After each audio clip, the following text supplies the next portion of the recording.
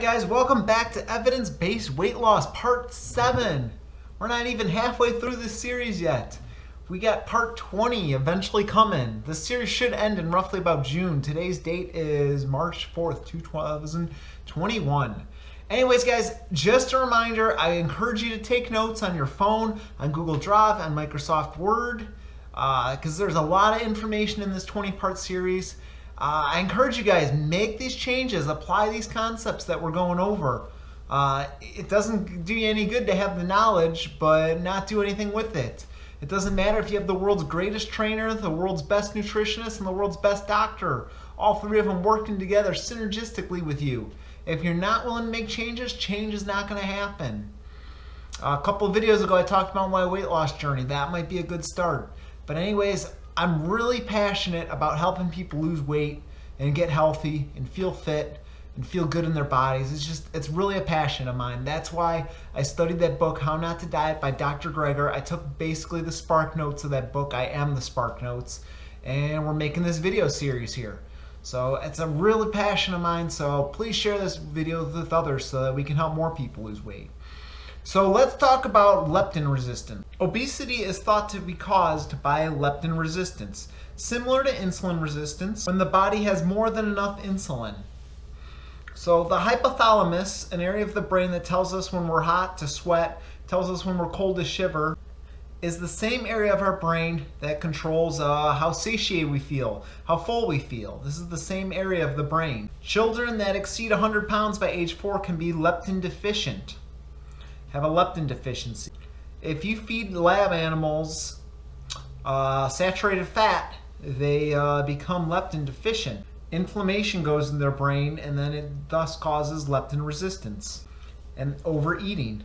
When these animals in these studies returned to their normal diets, uh, this leptin deficiency disappeared and they were able to lose weight.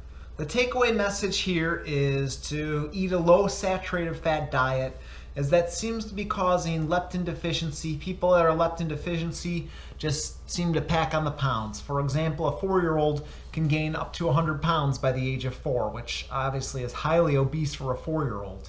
I couldn't imagine that. Our daughter's not even three yet, and her weighing 100 pounds, I couldn't imagine her weighing 100 pounds up to 100 pounds in a little over a year from now. That's insane to think about. Advice here is to just avoid saturated fats. That's primarily in uh, coconut oil, palm oil, meat, dairy, eggs. That's where your saturated sources are going to come from. So my suggestion would be to highly uh, eliminate that, severely eliminate that, if not get rid of it completely.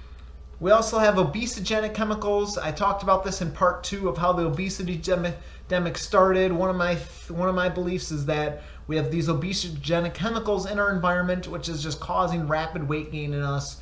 So my advice, the less uh, seafood you have, probably the better.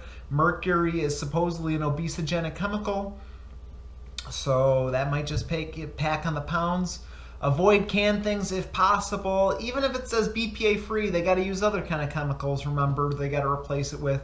So I think the less canned stuff you can have, the better. People that eat canned soups can raise their BPA levels in their urine by 1,000%. And then obviously we got the mercury and cadmium, ca cadmium in uh, our oceans in fish. All right, so the next tip on losing weight. Uh, fiber depleted diets, I believe, is absolutely causing weight gain. Recommended that women get up to 26 grams of fiber in a day and men get up to 38 grams of fiber a day. I think that's by the American Heart Association. Don't quote me on what that source is. It's from some kind of governing source. Uh, supposedly, 98% of Americans are not getting that, and supposedly even half the population isn't even getting half of those amount of fiber. Uh, I'll try to remember to put in the YouTube cards up here. Otherwise, just go look in our previous video. The video is not even a year old, but I talk about in a video what 110 grams of fiber looks like in a day. Uh, we I eat 110 grams of fiber. I show the video. I put put into MyFitnessPal, I believe was the app I put it into. I show what I ate that day. So I guess that might put me and Sarah in the 0.01% of population of most fiber if 98% is not even getting enough, and then we're eating 110 grams, as much fiber as people are eating in a week, that's just an assumption though. But uh, so it, it is possible. But why does fiber help you lose weight? Let's talk about how, how a high fiber diet helps you lose weight. First of all, fiber depleted meals leave your stomach 45 minutes earlier than uh, food that has the fiber intact. You eat fiber, the excess calories get trapped in the fiber and thus you poop it out into the toilet, the excess calories. Eating enough fibers, fiber in a day may be enough to shave 100 calories off of you every single day, which is enough to keep that weight from creeping back up. I mean, that's 700 calories in a week, and then 7 times 4, 2,800 calories a month yeah, definitely. That can keep that weight that likes to slowly just creep up on us. So fiber, eat your fiber, fruits and vegetables, plant foods. Remember, animal products have zero fiber in them. If you want really good sources of fiber, I highly suggest oatmeal, blueberries, beans, lentils. Those things are excellent source of fiber. Avocado, sweet potatoes, high, high sources of fiber. And then when you eat fiber, you burn an extra 50 calories, 2% of calories in a day. Uh, we talked about before the thermic effect of food.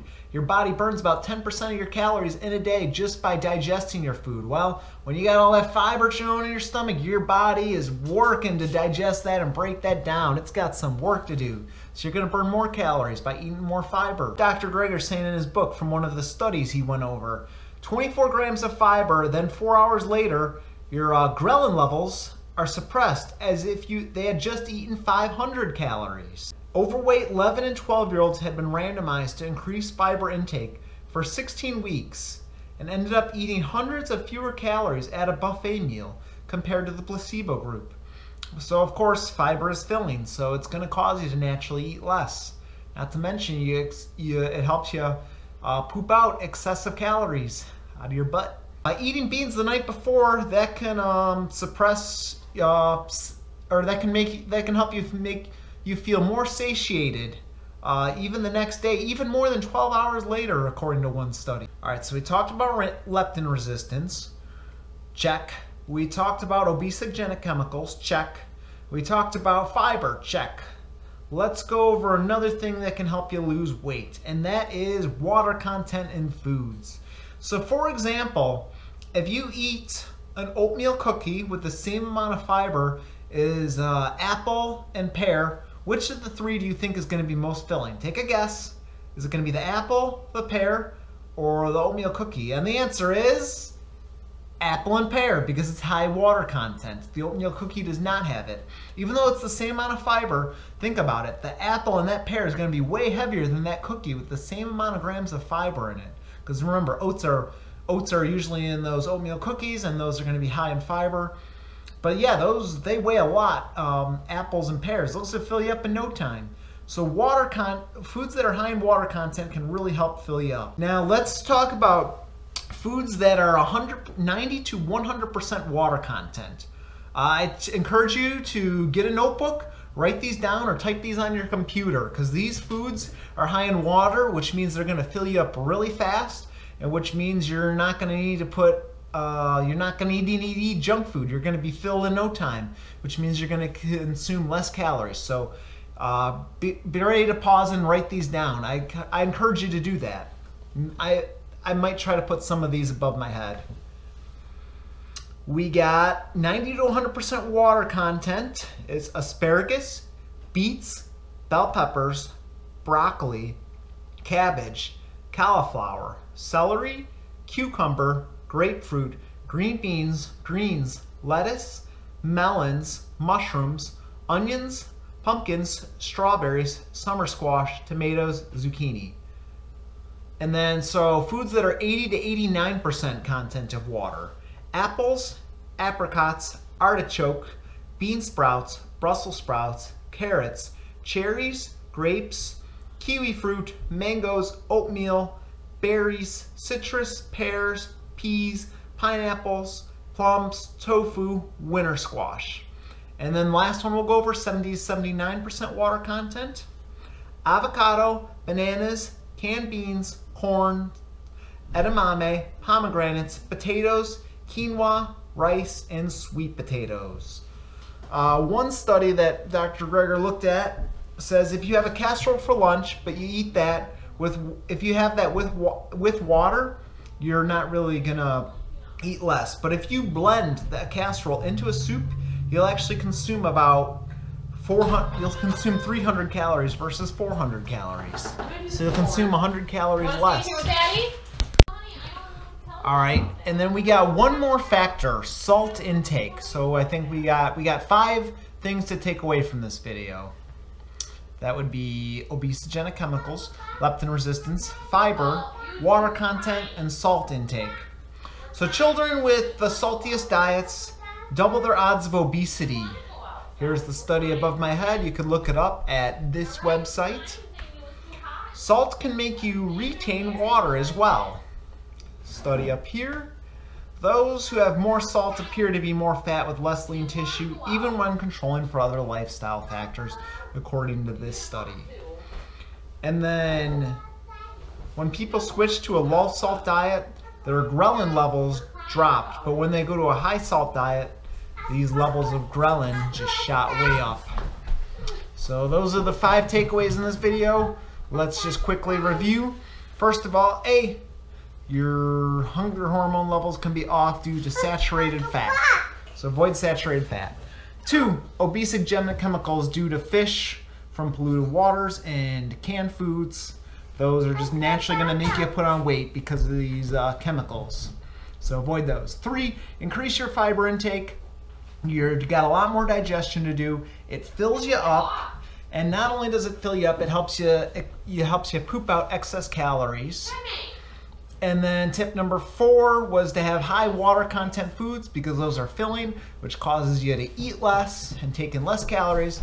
And then tip number five is have less salt in your diet because apparently it makes you retain water and uh, keeps you fat and I apologize for the background noise.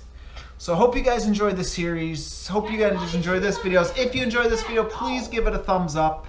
This is uh, still a lot more videos to come. As I mentioned, I'm really passionate about helping people lose weight. So uh, yeah, we will see you in the next video. I don't know what part 8 is on, but we'll find out next week. All right, we'll see you guys next time. Please share this with those who are trying to lose weight. It is a real passion of mine to help people lose weight, so please share it. All right, we'll see you guys later. Bye-bye.